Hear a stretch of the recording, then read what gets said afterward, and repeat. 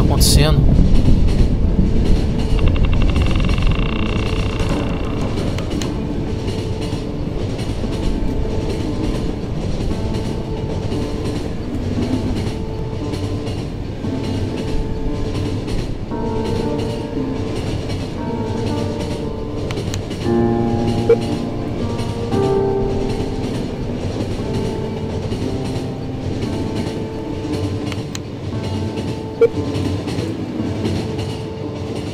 Cara ali tá sangrando, eu não tenho kit de primeiros socorros. Deixa eu ver se eu consigo fazer um aqui rapidinho. Não.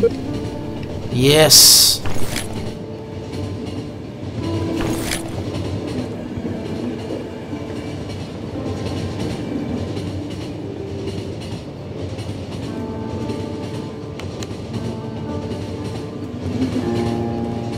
Ai meu Deus!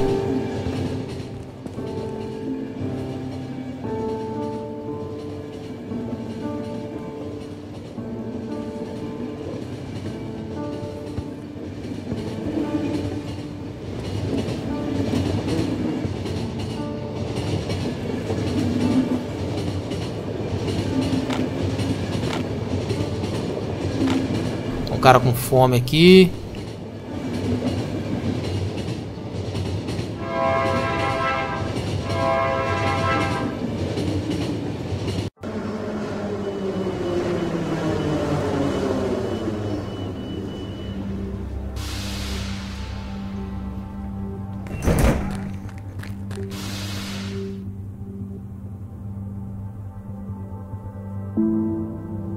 Morto?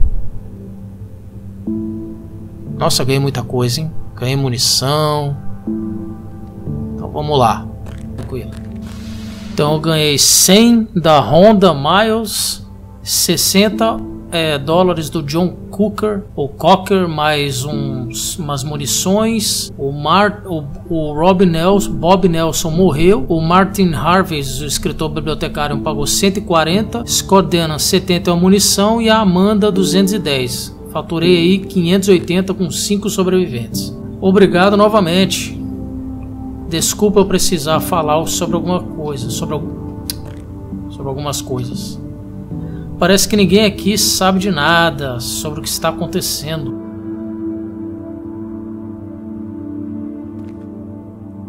Ele ficará bem. Então você está dizendo que foi mordido por alguém. Opa, foi mordido. Será que isso é coisa de zumbi? Será? Eu sei, você já sabe onde isso vai terminar. Pegue sua família e fuja, cara. É isso aí. Você tem uma ordem.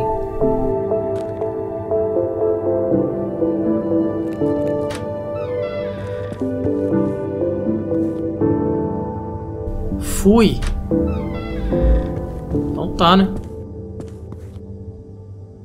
Você está saindo do norte? Está tudo bem por lá? Não consigo entrar em contato com eles. Desculpa, tenho trabalho a fazer. Que dia lindo, não acha? Adam Thornton quer conhecer você, ele disse que é urgente. Cuidado com o que fala, devemos tudo a ele. Você também, papá, o escritório dele fica no pico da fábrica de Nebelers. Pode ser visto de qualquer ponto da cidade, não tem como você errar. O motorista estará esperando por você para levar você até a fábrica. Vão imprimir uma cópia do código antes de você chegar. Então é para eu dar uma explorada na cidade, procurar esse carinha nessa torre que todo mundo consegue ver de qualquer ponto da cidade, enquanto ele imprime o código para eu poder sair com o trem novamente.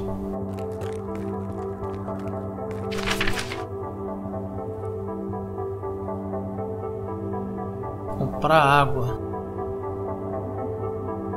A polícia de Houston, a mando de Adam Thornton, conduziu uma investigação e confiscou uma tonelada de eletros prensados minerados ilegalmente pela fábrica de Scamming, enquanto a gestão da fábrica tentava transportá-la para fora de Houston.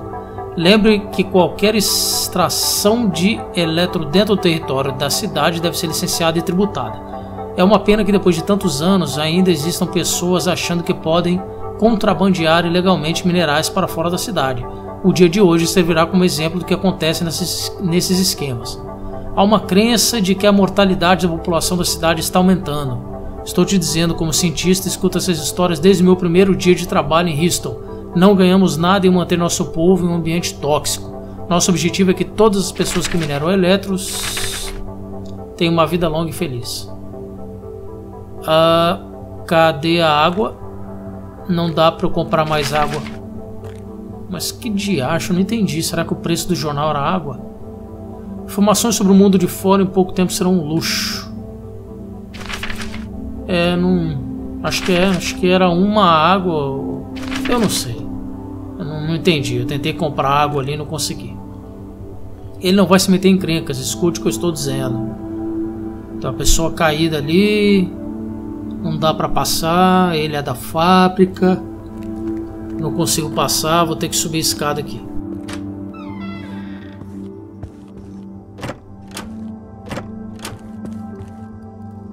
Jack, é para você novamente? Hã? Esse jogo tá com uns probleminhas de legenda em português. Não só na tradução, mas a própria língua portuguesa está errada. Obrigado, companheiro. Telefone? Sim, existe uma cabine telefônica na próxima.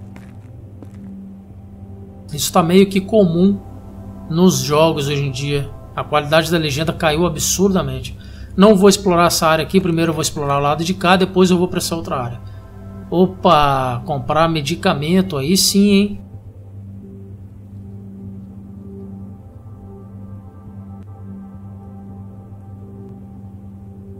Comprar dois kits médicos. Opa, munição, munição. Sim, sim, sim, sim, por favor. Vou comprar munição aqui da pistola.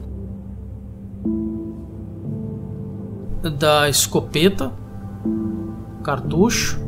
Mira laser, por favor. Ih, não deu para comprar o outro.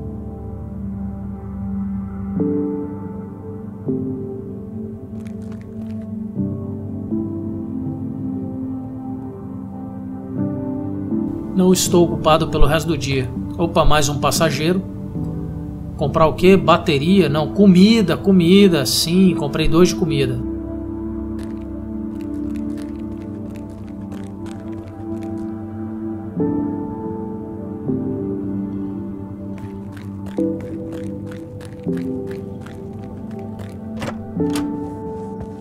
Vamos aqui olhar outra parte da cidade, ainda não abrimos. Se você precisar de um quarto, vá lá para cima. Aqui é um motel, um hotelzinho.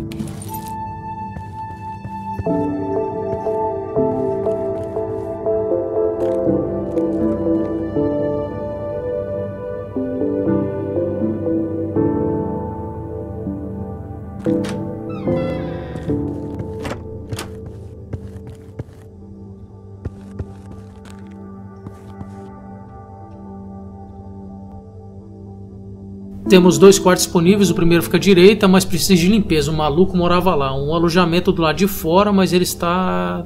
Fica à vontade para olhar, para conseguir ler. Esse aí deve ser o do maluco que está todo bagunçado. Eu conheci o velhote, parece que ele já perdeu o juízo. Ainda assim, ele me contou algo muito importante sobre a primeira visitação. Preciso chegar até aquele desfiladeiro, mas o trem seguirá para o oeste em apenas uma semana. Eu irei para o norte pela manhã, será mais rápido assim primeira, primeira invasão, uma coisa assim. Aí é o segundo quarto ali embaixo.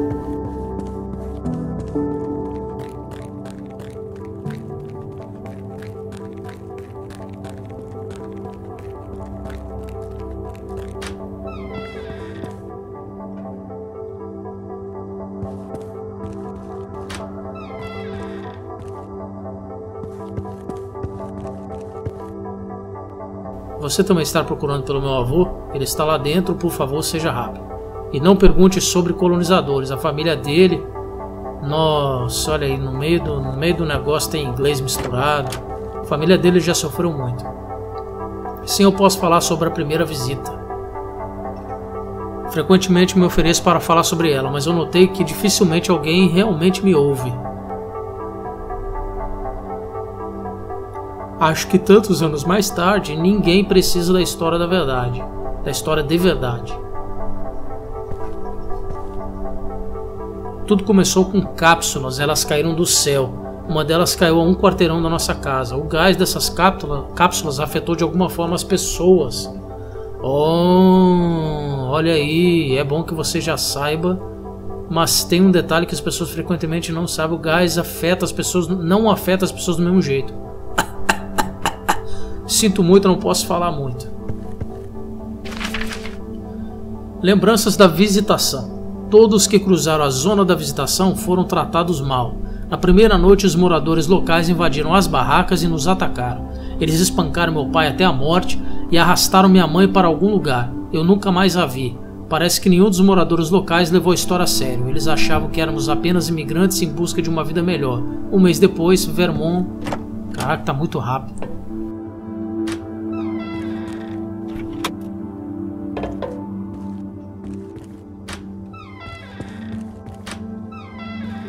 Ih, olha aí.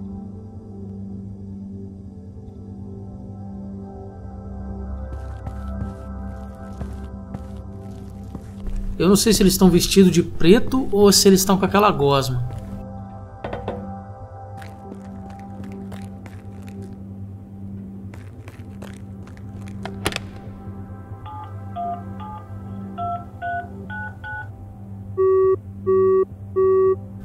Sim, a gente tá tentando telefonar para casa, tá certo.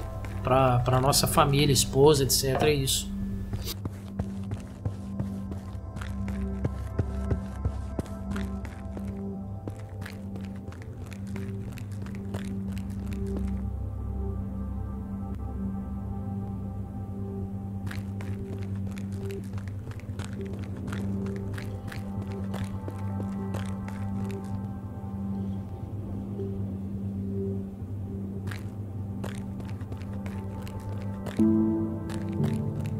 Nossa, olha o fundo lá, a cidade. Por favor, entre no carro. Ele está esperando por você. Olha o papel de parede lá, o... a cidade lá ao fundo. Interessante, cheio de bolha. Boa tarde, você está. Nossa. Você tem reunião marcada? Deixa-me ver.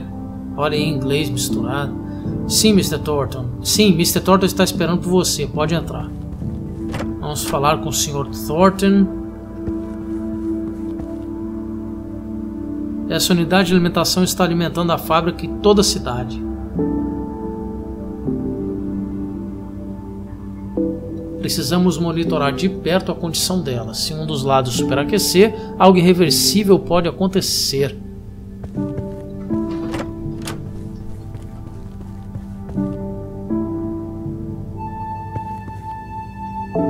Sei, não se preocupe, partículas elétricas das minas interferem com as ondas de rádio, por isso que as pessoas nem sequer sabem o que está acontecendo. Eita!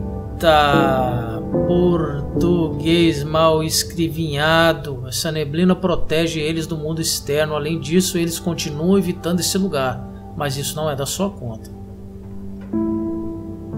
Avise-os se quiser, mas eles não acreditarão em você de qualquer forma. Vamos direto ao assunto, o tempo está acabando. De acordo com o contrato, com o conselho na Casa de Segundo Aviso, eu tenho que abrir mão do núcleo de energia da fábrica.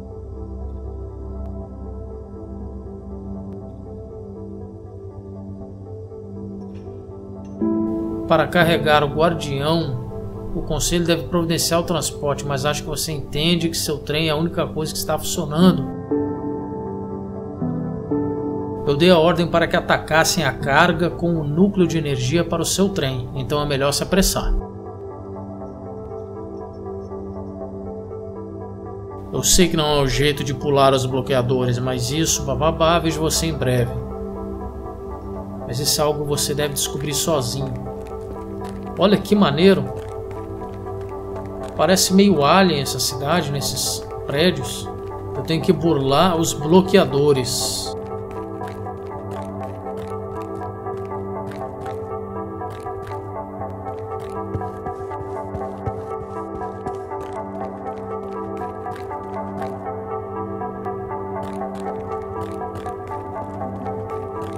Eu acho que são aqueles bloqueadores lá do trem, né? Acho que eu tenho que pegar o negócio que foi impresso aí. Aê, 4646, com o código do bloqueador, é isso aí. A carga já está presa, tem um bom dia. Outro maquinista ali. A carga tá aí. Vamos lá. 4646.